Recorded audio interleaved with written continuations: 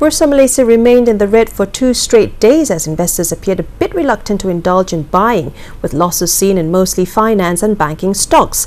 A dealer says the market was tracking the downtrend in Wall Street as trading stood cautious ahead of the outcome of the crucial U.S. Federal Reserve's monetary policy meeting starting today.